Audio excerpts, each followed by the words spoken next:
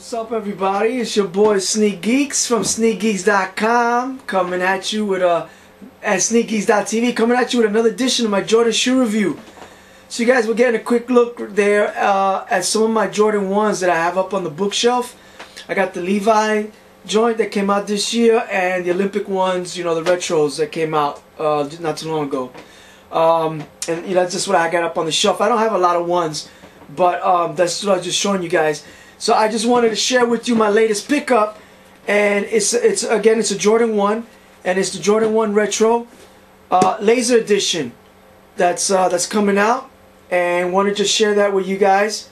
Um, it's all black leather joint. It's got leather suede. It's a very interesting shoe, by the way, everyone. Um, the the the the toe here, um, the side panels are made out of suede, and then it's lasered and then the pattern that is in the um, in the laser is uh, different um, various random um, images. Some of them are sneakers. Some of them are, uh, I mean Jordans. There's a couple of other there's a Jordan shoe there. And there's a mother there's some dice there. Uh, different random images. Stars as you got everybody can see.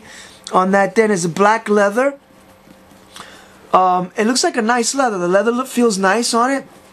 High top joint, the white sole, and then the gum bottom. Another interesting thing about this shoe is that the tongue is made out of suede. If you guys can see that. Uh, so yeah, the tongue here is made out of suede, the outside. And then in the inside, that it's like a velvet on the liner there. Velvet on the inside there on the tongue.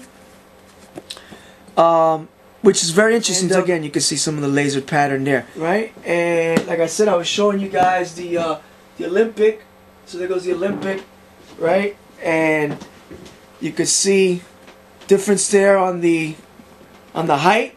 My man Mace from Kicks in the City did a little comparison, right, of the of the Jordan, the high top versus the uh, the other um, whatever it is, a mid. And so I'm doing a little comparison here and you can see on this Retro 1 laser uh, the difference in the height there. So that's the Olympic one. Um, so, you know, everybody stay tuned my videos. I just wanted to make this, put this one up real quick. Uh, I got some other stuff I want to review. As you can see, I got a bunch of boxes up here I need to open up. I haven't shared with you guys. Uh, up on the top, guys and gals. And just make sure you keep watching. Make sure you keep subscribing and rating all my videos. Alright? Um, one other thing. Oh yeah, I want to show you guys another shoe. So, you guys got a good look at that, right? I'm going to show you guys another shoe. So make sure, I kind of showed you it before, but um, I'm going to show it to you guys again. Right? Squeaky floor, ain't it? Here it is.